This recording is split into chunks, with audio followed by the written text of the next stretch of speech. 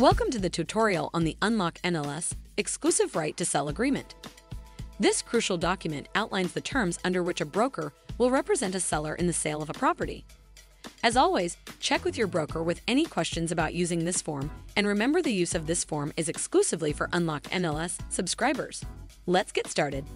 The exclusive right to sell agreement is a binding contract between a property seller and a real estate broker. It grants the broker the exclusive right to market and sell the property and commits the broker to providing listing services to the seller. Let's dive into the key sections and important legal points under Texas real estate law. First, let's look at the parties involved. This section identifies the seller and the broker, along with their contact information. It's crucial to ensure that all details are accurate. Next, the property section describes the land, improvements, and any accessories included in the sale. If the property is a condominium, you'll need to use a condo addendum. The Texas Realtors Condo Addendum will work with this agreement if you prefer that form. In the listing price section, the seller sets the price at which they want to market the property. This is the starting point for marketing the property. The term section specifies the duration of the agreement. It's important to note the start and end dates clearly. This section includes the ability to terminate the agreement. If you do not have a firm ending date, you're in violation of the Texas Real Estate Licensing Act. All agreements must have a firm termination or ending date. You can always renew or extend your contract if your client agrees to it. Automatically renewing agreements are not acceptable under state law, except in the case of management agreements. Now let's focus on the broker's compensation section, which outlines how the listing broker will be paid.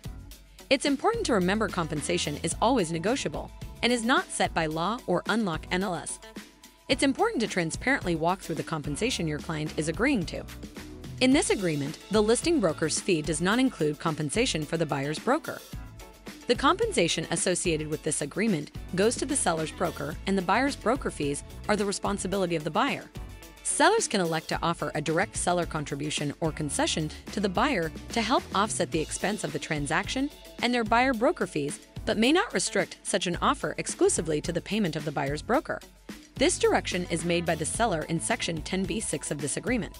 Section 5, paragraph E includes other compensation that can be agreed upon. This section includes directions regarding intermediary arrangements, transactions including unrepresented buyers, breach of contract, and disclosure related to service provider referral fees. In Section 6G, the county must be listed to make the compensation agreed upon in this form enforceable under Texas law.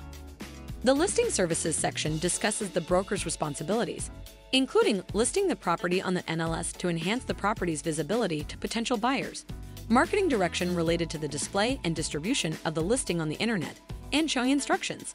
Section 7 covers access to the property during the course of the listing. Complete this section according to your seller's direction about how and when they intend to open the home for showings. This section explains how the broker may act as an intermediary if the broker represents both the buyer and seller. This activity is either authorized or not by the seller using this section of the agreement. Texas law requires written consent from both parties for this arrangement. Section 10 relates to the broker's authority to market the property. Section 10b6 is a new addition to this section and is related to the seller directed contribution to the buyer.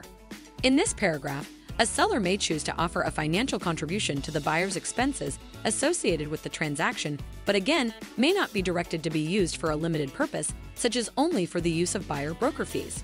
Sections 11 through 13 include special provisions, additional notices related to the broker's authority and limits of liability. Special provisions allow for additional business terms or conditions the parties agree upon and should be completed in accordance with your broker's policies and procedures. Finally, the agreement concludes with the signatures of the seller and the broker, formalizing the contract. Check with your broker on your firm's policies and procedures related to executing agreements on behalf of the broker as a broker's associate.